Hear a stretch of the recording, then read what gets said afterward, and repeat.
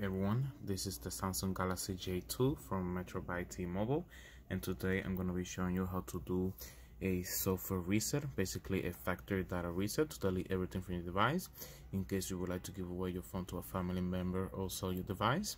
So in order to do the software reset we had to go into settings scroll down tap where it says general management. Tap where it says reset. Tap where it says factory data reset. And as you can see here it says factory data reset. All data will be erased from your phone including your google account system and app data settings downloaded apps music pictures all other user data service provider apps and content. The description key for files on the sd card you will not be able to use the encrypted files on the SD card after you reset your device to factory defaults.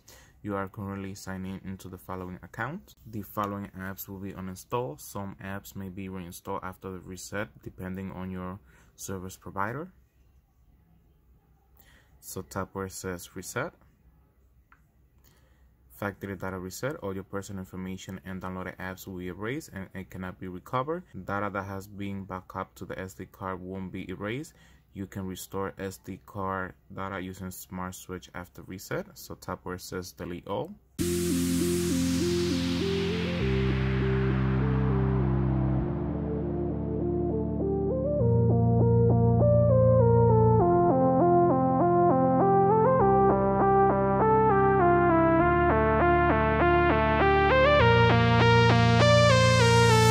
Okay guys we are back. We have successfully done the software reset on the samsung galaxy j2 from metro by t-mobile so that's gonna be all for this video. So thank you very much for watching my video. If you like my video please click the like button.